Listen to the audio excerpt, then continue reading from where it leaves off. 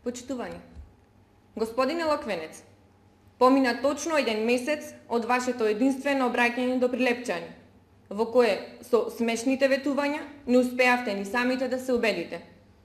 Дали заради бизнес обврските, зафатеноста со изградба на вашите објекти или заради несогласување со партиските колеги, заборавивте да го покажете вашиот тим. Тоа јавно го ветивте и вечерта на митингот, кога истакнавте дека знаете со кого и како ќе ги решавате проектите.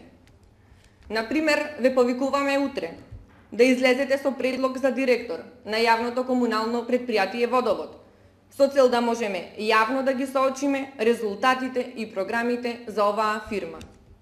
Господине Локвенец, нашиот тим е познат и успешно го менаџира градот и јавните предпријатија, кои вашите пријатели ги оставија во очајна состојба, со огромни долгови и неисплатени плати. Затоа, ќе бидеме упорни и секој ден ќе ве повикуваме да им кажете на прилепчани кои се личностите од вашиот тим со конкретно име и презиме за конкретна функција. Можете да ги искористите вашите лични пријатели, Пиргановски, Герамичиовски, Сливовски, Мики Еклер, и другите што ги поставивте да бидат дел од раководните партиски тела во Скопје. И благодарам.